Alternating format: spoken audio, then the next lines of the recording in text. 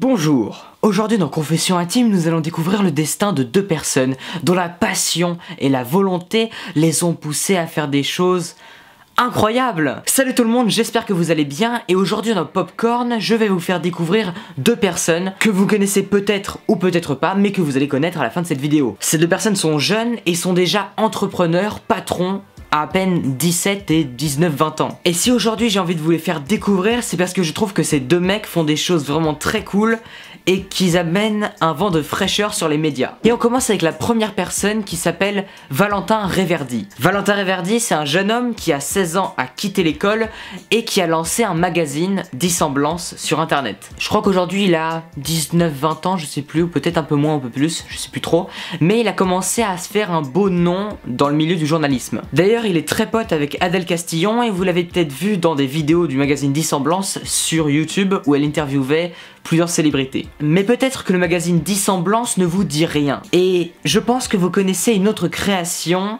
de Valentin Reverdy si vous traînez un peu sur le net et que vous vous intéressez aux travaux de différents youtubeurs. En effet, il a créé avec Sofiane Boudouni, Seb Lafrit, Maxence euh, Adèle et plein d'autres youtubeurs, il a créé l'application Vertical. Vertical, c'est une application où plusieurs youtubeurs diffusent des créations en format vertical, en format de téléphone. C'est pas en format 16 neuvième en horizontal comme sur YouTube. Je vous avouer que j'ai téléchargé l'application, mais j'ai pas trop traîné dessus, j'ai pas encore vu toutes les créations euh, de ces youtubeurs sur cette appli, mais je pense qu'on pourrait en reparler. Si ça vous intéresse, dites-moi en commentaire si une vidéo sur Vertical vous intéresserait. Bref, c'est un mec qui crée plein de trucs, qui s'est lancé dans sa passion le plus tôt possible, qui avait lancé des blogs dès ses 11 ans et je trouve ça vraiment très cool ce qu'il fait et il arrive à se faire une place et une communauté avec plein de potes youtubeurs ils arrivent à créer des trucs vraiment cool. Et je vais vous parler d'une deuxième personne qui s'appelle Guillaume Bénèche. Guillaume Bénèche c'est un jeune de 17 ans, il est né en 2000 comme moi. Sauf que lui fait des choses un peu plus médiatisées que mes vidéos. En effet, il a créé le journal Le Petit Mardi, qui est un journal en ligne, un journal écrit par des jeunes pour des jeunes et qui vient de faire sa première diffusion dans plus de 6000 maisons de presse et magasins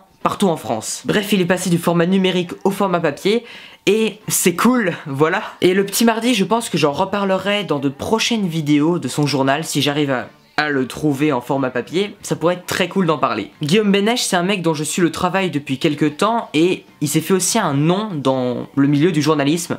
Il est pote avec d'autres youtubeurs, d'autres personnes qui sont aussi qui sont aussi journalistes et je vois qu'avec son journal Le Petit Mardi, il est passé sur plusieurs chaînes de télévision différentes et c'est très cool pour lui je trouve. D'ailleurs, je vous conseille de regarder une conférence qu'il a fait pour TEDx. TEDx, si vous connaissez pas, c'est un programme de conférence fait par plein d'entrepreneurs, de leaders, de personnes, de dirigeants et d'influenceurs dans ce monde, de personnes assez importantes et très inspirantes. Ce sont des conférences très intéressantes pleine de bonnes idées et qui te motivent vraiment à suivre tes projets et à faire plein de choses. Et je vous conseille vraiment d'aller voir leur site web où les conférences sont traduites dans plein de langues différentes, dont la conférence de Guillaume Bénèche. Elle est très motivante, très cool et montre qu'il faut bosser le plus tôt possible et même si on est jeune, qu'on peut se faire une place dans le milieu et qu'on peut réaliser ses rêves. Et bref, si je vous partage le travail de ces deux personnes, Valentin Reverdy et Guillaume Benech, c'est parce que je suis très content de voir des jeunes qui font un travail qu'ils aiment. Je trouve ça vraiment passionnant de voir des jeunes qui vont mettre de côté leurs études ou même les suivre, continuer à les suivre comme Guillaume Benech qui continue ses études et qui vont bosser à côté devenir quasiment PDG d'entreprise de, la presse française et de mettre en valeur les jeunes, la parole des jeunes, car on a quelque chose à dire. Je pense que aujourd'hui ce n'est plus comme avant où les plus vieux étaient les aînés, ils avaient la science infuse et on disait aux jeunes tu fermes ta gueule, t'écoutes ce que les vieux te disent. Aujourd'hui c'est plus ça, grâce à internet, les jeunes ont plein de choses à apprendre aux plus vieux. Parce que le monde va très vite et nous les jeunes, on suit la tendance, on est on avance avec notre temps.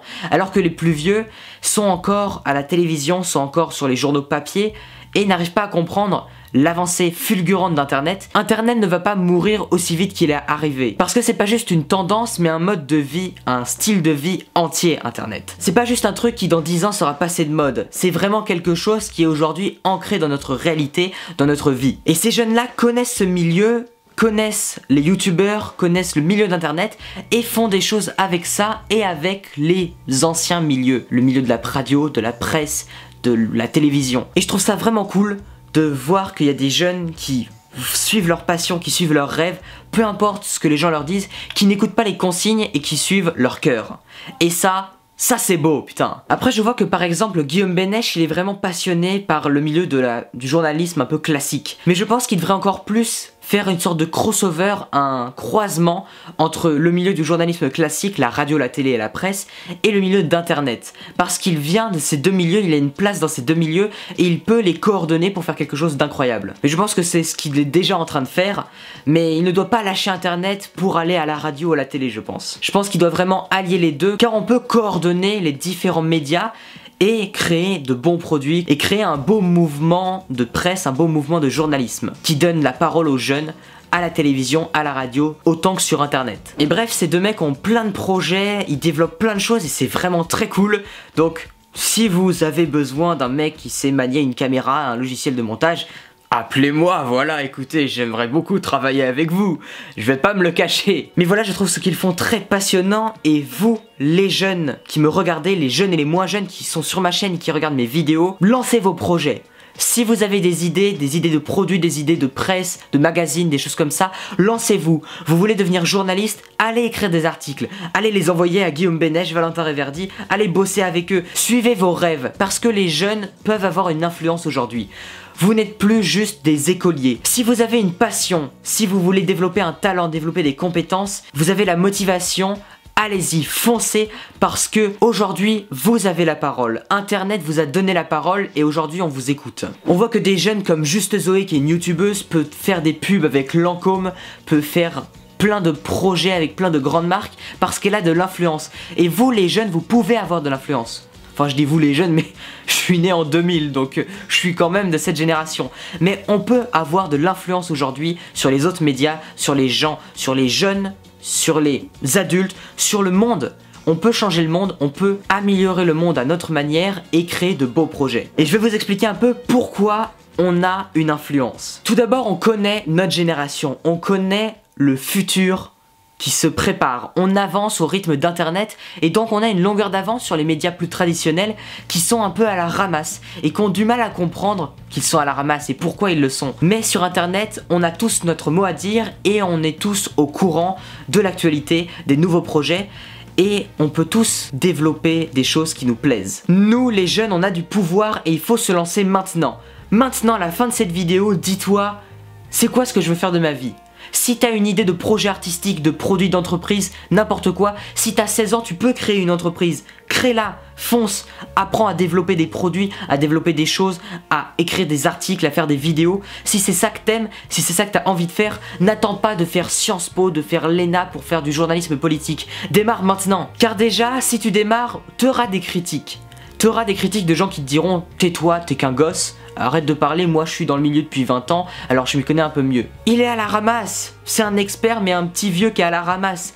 Toi, t'es un jeune, t'es dynamique, tu connais le mouvement d'aujourd'hui, tu connais les modes d'aujourd'hui, les tendances, et tu peux avancer avec ton temps. Et il ne faut pas perdre son temps avec des études qui ne nous plaisent pas, mais démarrer maintenant, même à côté de ces études. Si tu veux faire des études, fais-les, mais si tu veux être journaliste, artiste, entrepreneur, démarre maintenant. Essaye d'apprendre en dehors de tes études maintenant.